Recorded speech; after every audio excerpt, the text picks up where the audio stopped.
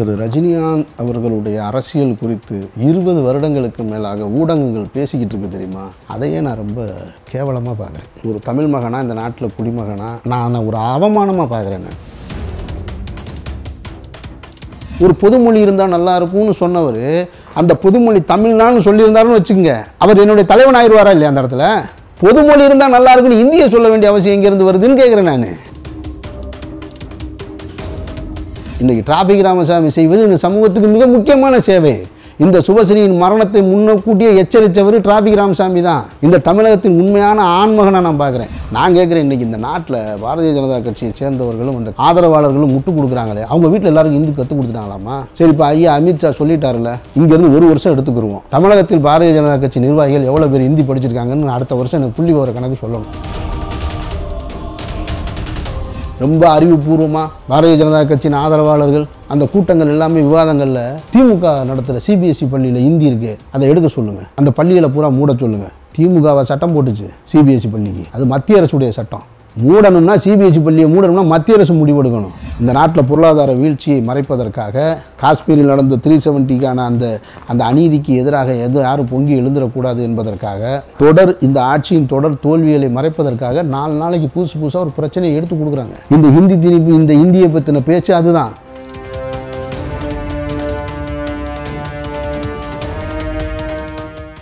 Hi hello India glitz weavers I am Sivasankari Sundar நம்ம கூட இயக்குனர் நடிகர் தயாரிப்பாளர் திரு அமீர் கூட இருக்கிறாங்க. மீட் பண்ணலாம். வணக்கம் சார் வணக்கம். எப்படி இருக்கீங்க? நல்லா இருக்கேன் கடவுள் அல்லால ஸோ இன்றைக்கி தமிழ்நாட்டில் இருக்கிற முக்கியமான பிரச்சனை என்ன அப்படின்னா இருமொழி கொள்கை மூணாவது மொழியாக ஹிந்தி திணிப்பு அப்படிங்கிறது. ஸோ இந்த மொழி பிரச்சனை ஹிந்தி திணிப்பு அப்படிங்கிற பிரச்சனையில் பொதுவாக உங்களுடைய கருத்து என்ன? ரஜினி அவர்களும் இந்த மொழிக் கொள்கை சார்ந்த ஒரு கருத்தை வெளியிட்டிருக்கிறாங்க. அதை எப்படி பார்க்குறீங்க? ஒரு பொதுமொழி இருந்தால் நல்லா இருக்கும்னு சொன்னவர் அந்த பொதுமொழி தமிழ்னான்னு சொல்லியிருந்தாருன்னு வச்சுக்கோங்க. அவர் என்னுடைய தலைவன் ஆயிடுவாரா இல்லையா அந்த இடத்துல? என் நான் எல்லாம் நடந்தும் நடந்து இதுக்கு முன்னாடி நடந்த அனைத்தையும் மறந்துட்டு ஆகா இவர் தான் என் நம்மாள் அப்படின்னு நான் முடிவெடுத்துருவேன்ல. பொதுமொழி இருந்தால் நல்லா இருக்குன்னு இந்திய சொல்ல வேண்டிய அவசியம் எங்கேருந்து வருதுன்னு கேட்குறேன் நான். அதே நேரம் இந்திய திணிக்க கூடாதுன்னு சொல்லியிருக்காரு. இது என்னங்க வம்பா இருக்கு? எனக்கு ஒன்றுமே புரியல. இதுவும் செய்யாதீங்க அதுவும் செய்யாதீங்க எதை செய்யணும்?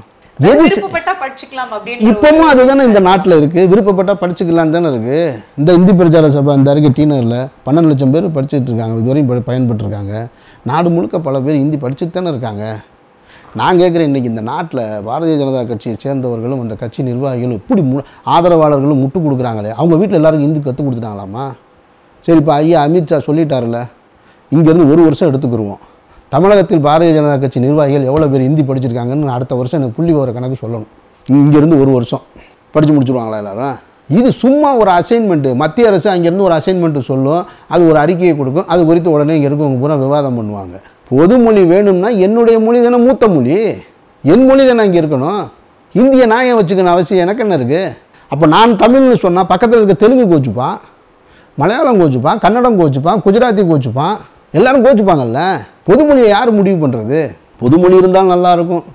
துரதிருஷ்டவசமாக அப்படி போயிடுச்சுன்றது அது என்ன மாதிரியான கருத்துன்றதான் இல்லை. இப்போ நான் சொல்கிறது கொச்சையாக இருக்கான்னு தெரியல. நான் ஒரு உதாரணத்துக்காக சொல்கிறேன் இந் எதுக்குங்க பொதுமொழினா வெளியில் நாட்டில் இருக்கவங்க அடையாளம் தெரிந்து கொள்வதற்காக. அப்படின்றாங்க ஒருத்தவங்க. திரு. ரஜினிகாந்துடைய ஆதரவாளர் ஒருத்தர் சொல்கிறாரு விவாதத்தில் இயக்குனர் பிரவீன் காந்தி சொல்கிறாரு இல்லை இல்லை இப்போ பாருங்கள் ஏஆர் ரஹ்மானை எப்படி அடையாளம் தெரிஞ்சு ஹிந்தி பாட்டுக்கு இசையமைச்சதுனால தான் அடையாளம் தெரிஞ்சு அப்படின்றாரு. ஆனால் அவருக்கு ஹிந்தி தெரியாது. ஏஆர் முருகதாஸ் இருந்து போய் டைரக்ட் பண்ணார் ஒரு ஹிந்தி தெரியாது. பாக்கியராஜ் போய் டைரக்ட் பண்ணிட்டு வந்தார் ஒரு ஹிந்தி தெரியாது. அப்துல் கலாம் வந்து ஜனாதிபதியாக இருந்தார் ஒரு ஹிந்தி தெரியாது. அதுக்கு இதுக்கு என்ன இருக்குது அப்போ மொழியை கற்றுக்கிட்டா தான் நீங்கள் அந்த நாட்டில் தமிழை போய் வளர்க்க முடியும்னு சொன்னால் ஜப்பானில் இன்றைக்கி இருபத்தி மூணாயிரம் தேட்டரில் டூ பாயிண்ட் ஓ ரிலீஸு அப்போ ஜப்பானிய மொழியை கற்றுக்கிட்டாரா திரு. ரஜினிகாந்த் அவர்கள்? ஏதாவது தொடர்பு இருக்கா இதுக்கு அதுக்கும்? நீங்கள் அரசியல் பண்ணுறதுக்கு நாங்கள் தான் கிடச்சோமா? அப்போ நான் ஒரு கருத்து சொல்கிறேன் இப்படி ஒரு கருத்து இந்த கருத்து சரியான்னு பாருங்கள் இந்தியன் என்பதுக்கு அடையாளம் தெரிகிறதுக்காக வந்து வெளிநாடுகளுக்கு நம்ம போகும்போது இந்தியன் அடையாளம் தெரிகிறதுக்காக காஷ்மீரி போல் மராட்டியர்கள் போல் மார்வாடி போல் குஜராத்திகள் போல் ராஜஸ்தானி போல் எல்லாருமே சிவப்பாக இருந்திருந்தால் நல்லா இருந்திருக்கும். ஆனால் துரதிருஷ்டவசமாக அவர் கருப்பாக போயிட்டார் அப்படின்னு சொன்னால் சரியாக இருக்குமா? அது எப்படி சரியாக இருக்கும்? அது சரியானதாக இருக்காது. இந்தியா என்கிற ஒருங்கிணைக்கப்பட்ட மாநிலங்களின் தேசம். இந்த தேசத்தில் எல்லா மொழிகளுக்குமான அட்டவணை பட்டியலில் எல்லா இருபத்தெட்டு மொழிகள் இருக்குது அதில் அலுவல் மொழியாக ஆட்சி மொழியாக அப்போ இந்தியும் அலுவல் மொழியாக ஆங்கிலமும் இருக்குது தமிழகத்தில் அலுவல் நமக்கு வர லெட்ரு அரசுல இருந்து அரசாங்கத்திலேருந்து வர்ற லெட்ரு எல்லாமே ஆங்கிலத்தில் வருது. நம்ம அதை படிச்சுக்கிறோம் கம்யூனிகேஷனுக்காக தமிழ் பேசுகிறோம் மூன்றாவது மொழி ஹிந்தி வேணுங்கிறவங்க ஹிந்தி படிச்சுங்க. மலையாளம் தெரியணும் மலையாளம் பேசிங்க. குஜராத்தி வேணுன்னா குஜராத் தெரிஞ்சுங்க. அது அவங்கவுங்க இஷ்டம். நீங்கள் அதை கட்டாயமாக்காதீங்கன்னு சொல்கிறோம் ரொம்ப அறிவுபூர்வமாக பாரதிய ஜனதா கட்சியின் ஆதரவாளர்கள் அந்த கூட்டங்கள் எல்லாமே விவாதங்களில் திமுக நடத்துகிற சிபிஎஸ்சி பள்ளியில் ஹிந்தி இருக்குது அதை எடுக்க சொல்லுங்கள் அந்த பள்ளிகளை பூரா மூட சொல்லுங்கள் திமுகவை சட்டம் போட்டுச்சு சிபிஎஸ்சி பள்ளிக்கு. அது மத்திய அரசுடைய சட்டம். மூடணும்னா சிபிஎஸ்சி பள்ளியை மூடணும்னா மத்திய அரசு முடிவெடுக்கணும் திமுக நடத்துகிற பள்ளி முடி திமுக மட்டும்தான் சிபிஎஸ்சி பள்ளிக்கூடம் நடத்துதா? அதிமுக இருக்கவங்க நடத்தலையா? காங்கிரஸ் கட்சியில் இருக்கவங்க நடத்தலையா? பாமக இருக்கவங்க நடத்தலையா? ஸ்கூல் நடத்தலையா? நாம் தமிழர் இருக்கவங்க காலேஜ் நடத்தலையா? அதுக்கு இதுக்கு என்ன இருக்குது உங்களிடம் சரியான வாதம் இல்லாத காரணத்தினால சரியான உங்களுடைய கருத்து இல்லாத காரணத்தினால திமுகவை குற்றம் சொல்லணும்னா சரியாக போகும் அப்படின்னு. நான் திமுகவுக்கு வால் பிடிக்கல. எனக்கு ஹிந்தி வேணும்னா நான் படிச்சுக்கிடுவேன் என்னுடைய நண்பர்கள் என்னை என்னை சுற்றி இருக்க பத்து பேர் இருக்கான் அவங்களுக்கு பூரா ஹிந்தி தெரியும். அவன் பூரா மதுரையில் வேலை பார்த்துக்கிட்டு இருக்காங்க நான் வடநாட்டில் போய் வியாபாரம் பண்ணிகிட்டு இருக்காங்க என்னுடைய நண்பன் இங்கேருந்து பாம்பேக்கு போனான் ஒருத்தன். அவனை நான் போய் பார்த்தேன். பிரமாதமாக ஹிந்தி பேசுகிறான் அவன் அங்கே பிழைக்க போயிருக்கான். அங்கே ஹிந்தி பேசுகிறான் என்னுடைய நண்பனுடைய தங்கச்சி மும்பையில் இருக்காங்க. அவங்க ஹிந்தி பேசுகிறாங்க அவங்க வீட்டுக்கு போகிறேன் நல்லா ஹிந்தி பேசுகிறாங்க பிரமாதமாக பேசுகிறாங்க அவங்க அங்கே வாழ்கிறாங்க அவங்க ஹிந்தி கற்றுக்குறாங்க நானும் மும்பையில் போய் பிழைக்கணும் டெல்லியில் போய் பிழைக்கணும்னு ஒரு விதி இருந்தால் நான் போய் ஹிந்தி படிச்சுட்டு போகிறேன் உனக்கு என்ன பிரச்சனை? இப்போ எனக்கு எந்த தேவையும் இல்லையே. நான் ஏன் ஹிந்தி படிக்கணும்? இந்த நாட்டில் பொருளாதார வீழ்ச்சியை மறைப்பதற்காக காஷ்மீரில் நடந்த த்ரீ செவன்ட்டிக்கான அந்த அந்த அநீதிக்கு எதிராக எது யாரும் பொங்கி எழுந்துடக்கூடாது என்பதற்காக தொடர் இந்த ஆட்சியின் தொடர் தோல்விகளை மறைப்பதற்காக நாலு நாளைக்கு புதுசு புதுசாக ஒரு பிரச்சனையை எடுத்து கொடுக்குறாங்க. நீங்கள் விவாதம் பண்ணிக்கிட்டே இருங்கன்னு. நான் அப்படித்தான் பார்க்குறேன். இந்த ஹிந்தி திணிப்பு இந்த ஹிந்தியை பற்றின பேச்சு அதுதான். அவர் அது அவர் சொன்னதில் ரொம்ப ஆணித்தரமாக இருந்தால் அந்த கருத்து உண்மையாக இருந்தால் நாலு நாளையில் அமித்ஷா அவர்கள் மறுக்க வேண்டிய அவசியம் எங்கேருந்து வருது? விடாப்படியாக நின்றுக்கணுமா இல்லையா? அப்போ அது ஒரு விவாதத்துக்கு. விஷால் அப்படிங்கிற ஒரு நடிகர் வந்து கொஞ்சம் ரீசெண்டாக நடிக்க வந்தார். பட் அவர் கூட அரசியல் அப்படின்னு வரும்போது ஆர்கே நகர் தொகுதியில் நிற்கிறதுக்கு பயங்கரமான முயற்சிகள்லாம் எடுத்தார். ஆனால் ரஜினி சார் வந்து அரசியல் கருத்துக்களை பல வருடங்களாக சொல்லிட்டு வந்தாலும் வருவேன்னு சொன்னாலும் இன்னும் வரலையே. எப்போ தான் வருவார்? எப்படி வருவார்?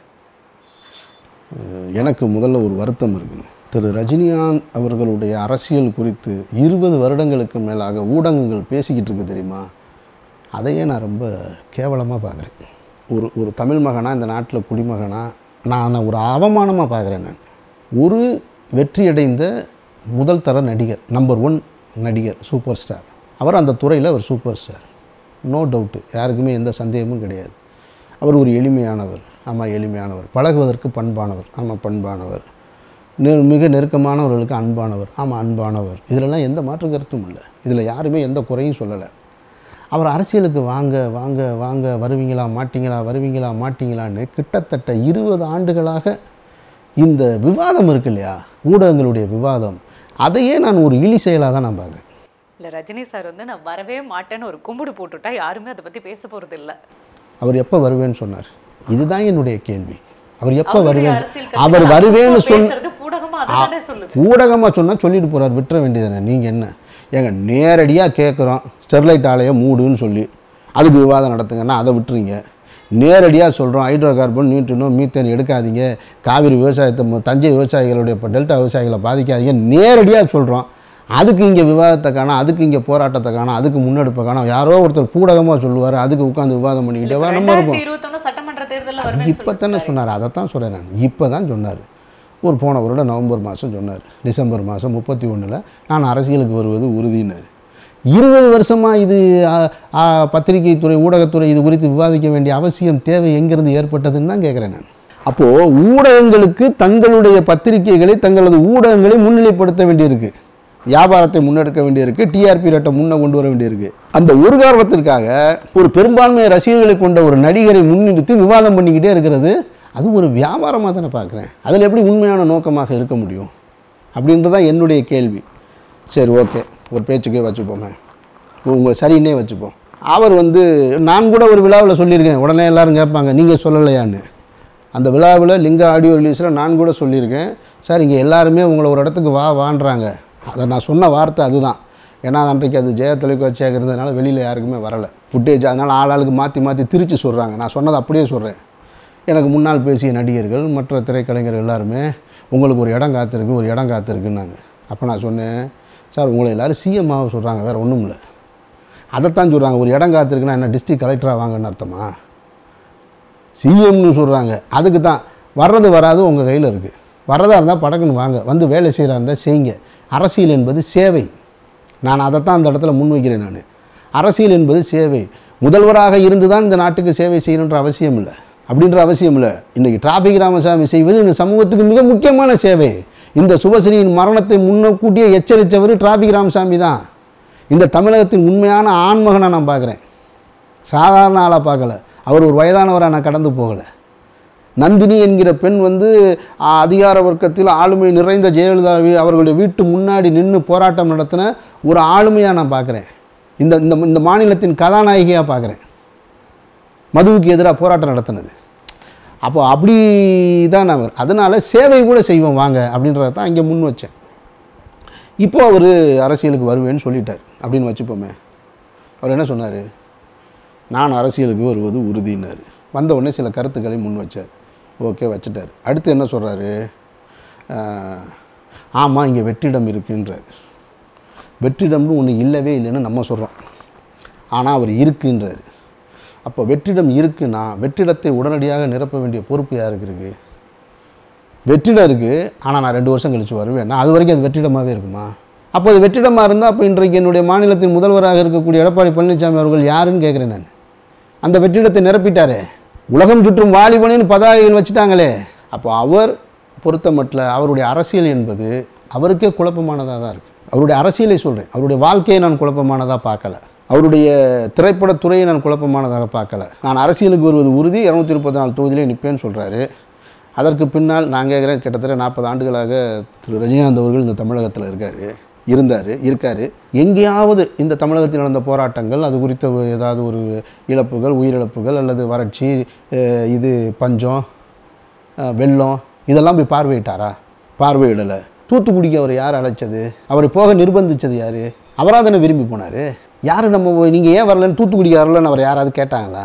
போயிட்டு ஒரே நாள் தான். காலையில் போயிட்டு மாலை விமான நிலையத்துக்கு வரும் பொழுது போராடினா இந்த நாடு சுடுகாடாக போயிருன்றாரு அப்போ முரண்படுறாரு.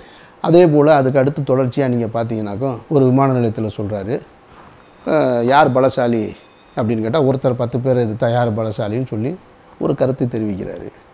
அதற்கடுத்து இப்போ கூட காஷ்மீர் த்ரீ செவன்ட்டிக்கு குறித்து துணை ஜனாதிபதி வெங்கையா நாயுடு அவர்களுடைய விழாவில் அலையா விருந்தாளியாக போய் எனக்கு தெரிஞ்ச அந்த விழாவில் அந்த விழா அழைப்புதல் அவருடைய பெயரே கிடையாது. அந்த விழாவில் போய் கிருஷ்ணரும் அர்ஜுனரும் சொல்லிட்டு ஒரு புகழாரத்தை சூட்டுறாரு. அப்போல்லாம் அவர் அரசியலில் இருக்காரா இல்லையான்னு தெரியலை. குரங்கணியில் வந்து இந்த மாதிரி சுற்றுலா போனவங்க இந்த மாதிரி இறந்துட்டாங்களேன்னு ஒரு கேள்வியை வைக்கும்போது நான் இன்னும் அரசியலுக்கு வரலை வந்ததுக்கப்புறம் பதில் சொல்கிறேன்னாரு ஆனால் அதுக்கு வந்ததுக்கப்புறம் பதில் சொல்கிறவர் கிருஷ்ணர் அர்ஜுனர்னு சொல்லிட்டு வேகமாக போயிருந்தா இப்போ வந்துட்டாரான்னு தெரியலை. நான் என்னை பொறுத்த மட்டும் ஒரு அரசியலுக்கு வரக்கூடாது அப்படின்லாம் நான் சொல்லவே மாட்டேன். அது ரொம்ப நான் ரொம்ப தெளிவாக இருக்கேன். வந்தா நல்லா தான் இருக்கும் அப்படின்ட்டு. வந்த வர ஏன் வரக்கூடாதுன்னு சொல்வதற்கு எனக்கு என்ன உரிமை இருக்குது எனக்கு அவரை பிடிக்கல. உங்களுக்கு பிடிச்சி ஓட்டு போட்டால் போடக்கூடாதுன்னு நான் சொல்ல முடியுமா? ஓட்டு போட்டு பெரும்பான்மை மக்கள் தேர்ந்தெடுத்துட்டா வேணாண்ணா இருக்குது தேர்ந்தெடுக்கட்டும். Thank you so much sir இவ்வளோ நேரம் பொறுமையாக தேங்க்யூ